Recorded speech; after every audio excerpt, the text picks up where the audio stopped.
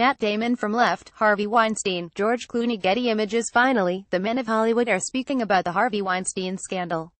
Perhaps they should reconsider. George Clooney, who smugly comports himself as Hollywood's moral authority, appeared on Today to voice his outrage. Keeping to his earlier, flimsy assertion that he knew next to nothing, Clooney then cast blame upon rumors of actress friends Weinstein bragged about betting ID and to really necessarily believe that, because to believe that would be to believe some bad things about actresses that I know and like, and ID and to really buy into that the staffers who escorted actresses to meet with Weinstein those who kept Weinstein's secrets and that old standby, the media. Whoever had that story and DID and T right it should be responsible, Clooney said. I want to know what kind of ad dollars were spent from the Weinstein Company and Miramax. I'm furious. I want to know who knew. Aside from the well-documented attempts by many media outlets to break this story over three decades, maybe Clooney need look no further than his friend Matt Damon. In 2004, apparently at Weinstein's behests, Damon reportedly called the New York Times reporter to shut down an expose about the mogul's sexual predation.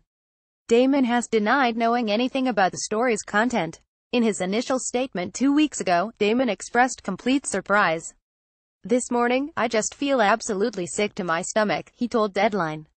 We know this stuff goes on in the world. I did five or six movies with Harvey. I never saw this. Note the clever wording I never saw this. It's almost Clintonian. Of course Damon never saw anything. Sexual assaults and rapes don't generally occur in public. As more victims have come forward, including his old friend Gwyneth Paltrow, Damon has been forced to backtrack. Turns out he did know, but in his new version, Damon didn't think Weinstein was a predator. Anyway, Damon said no harm, no foul. I knew that story about Gwyneth Damon told Good Morning America this week. Damon said his pal Ben Affleck, Paltrow's then boyfriend, told him. I knew that they had come to whatever agreement or understanding that they had come to, Damon said. She had handled it and she was, you know, the first lady of Miramax. And he treated her incredibly respectfully.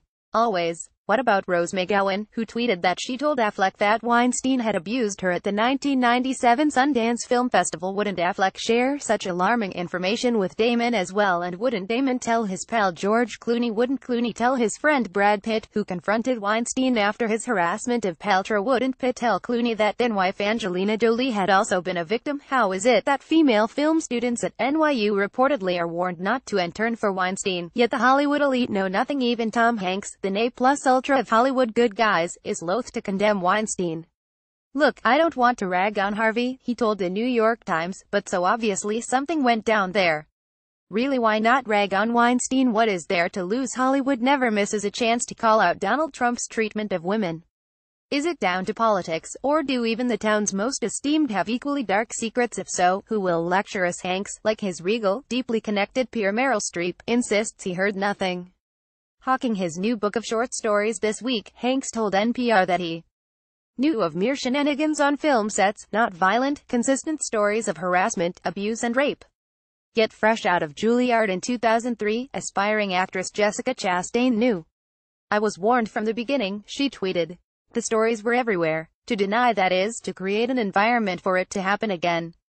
So why are Hollywood's liberal lions, bastions of male decency, ones who've hinted at runs for political office, refusing to admit they were complicit, that they were afraid for their own careers, that they were cowards and could have done better? Perhaps they're not innocent either. Perhaps they traded their own consciences for careers. Weinstein gave Clooney, then toiling away on television's ensemble drama, his first leading film role, in the 1996 horror movie From Dusk Till Dawn.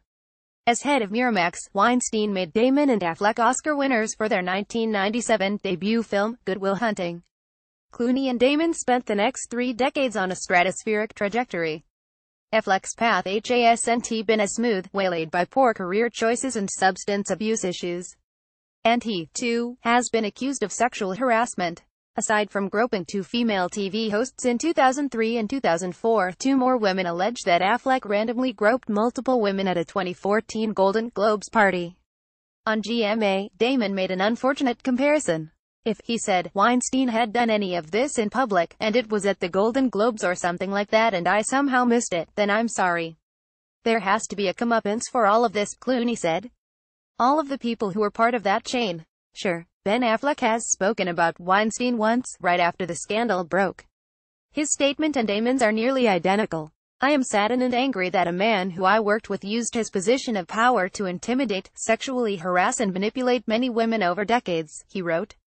The additional allegations of assault that I read this morning made me sick. Affleck has yet to answer to the latest charges against him. Instead, he's spent the past two weeks taking his daughters, in full view of the paparazzi, for ice cream and to church. He's also been shot going to outpatient sessions and with his newly adopted rescue dog. Details of Affleck's new wholesome, healthy life are often leaked to the tabloids. But such clumsy attempts at image rehab may no longer sway an increasingly sophisticated public, one well versed in the dark arts of media manipulation. It's well understood that Affleck, whose brother Casey settled two sexual harassment claims of his own, and won an Oscar with Affleck and Damon's help, is on the verge of a global press junket for Justice League. The success of that film, and Ben's public demeanor, may make or break his waning career. Clooney and Damon, meanwhile, are speaking up because they have no choice. They're on a promotional tour for their new movie Suburbicon, all about the false promises and hypocrisies of small-town, unsophisticated America. Hollywood, after all, loves nothing more than preaching to our naivete.